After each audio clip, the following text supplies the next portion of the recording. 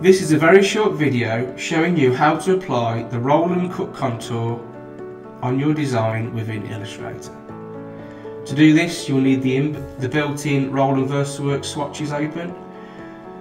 If you're unsure about how to do this please check out our YouTube. We have a video showing you how to import the built-in Roland swatches into your Illustrator. So we've got our logo ready to go. We can select certain parts of the job if needed. Um, so if you've got individual parts of design you want to cut, you can select them. But for this, I'm just going to do a very basic, I'm going to put a cut line around everything. So we're going to select the whole job. We've got our Roland VersaWorks swatch box open. We've got our outline stroke selected on the left. So all you do, the first option is a bright magenta, is the cut contour. Click on that and you'll see a pink line appear around your, your design. So at this point you've applied the cut contour.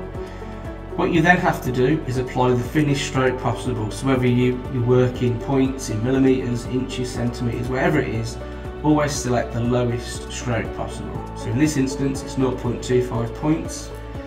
Select that and that now makes it a vectored cut line. So that is how you apply the cut line to your design. Very simple. What we always recommend is sometimes adding a bleed onto your artwork.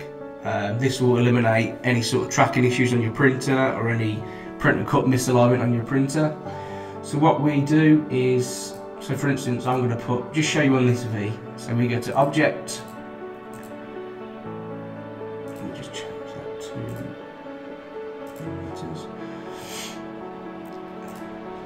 You go to Object, Offset Path, and you can choose the bleed around your artwork. Obviously something so intricate like this, you're going to have to minimise the bleed, um, but just to show you how to do it, we're going to set a 1mm bleed. So press OK,